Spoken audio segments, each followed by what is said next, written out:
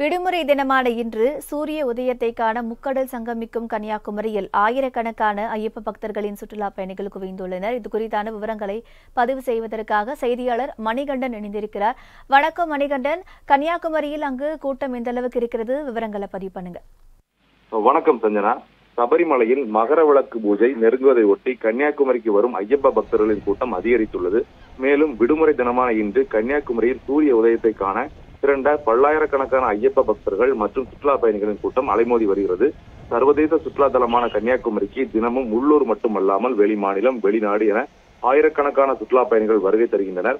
இங்கு வரும் சுற்றுலா பயணிகள் முக்கடல் சங்கமிக்கும் திரிவேணி சங்கமம் வரலாற்று சிறப்புமிக்க பகோதியம்மன் ஆலயம் நடுக்கடலில் அமைந்துள்ள விவேகானந்த நினைவு மண்டபம் மற்றும் திருவள்ளுவர் சிலை இங்கு வந்து சூரிய உதயம் சூரிய அஸ்தமம் ஆகியவற்றை பார்ப்பதிலும் மிகவும் ஆர்வம் கொள்கின்றனர். தற்போது சபரிமலை சீசன் என்பதால் கடந்த இரண்டு மாதங்களாக கன்னியாகுமரிக்கு வரும் ஐயப்ப பக்தர்களின் வருகை அதிகரித்துள்ளது. சபரிமலையில் மகர விளக்கு பூஜை நெருங்குவதாலும் இன்று விடுமுறை தினம் என்பதாலும் ஐயப்ப பக்தர்கள் மற்றும் சுற்றுலா பயணிகளின் கூட்டம் இன்று அதிகரித்து காணப்படுகிறது. மேலும் இன்று காலை முக்கடல் சங்கமிக்கும் திருவேணி சங்கமத்தில் சூரிய உதயத்தை காண பல்லாயிரக்கணக்கான சுற்றுலா பயணிகள் ஒரு இடத்தில் திரண்டதால் குதூகலமாக இருந்தனர். மேலும் ஐயப்ப பக்தர்களும் திரண்டனர்.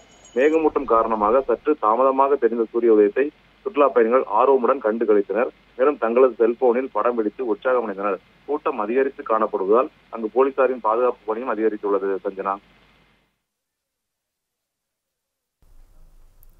மணிகண்டன் விவரங்களுக்கு நன்றி.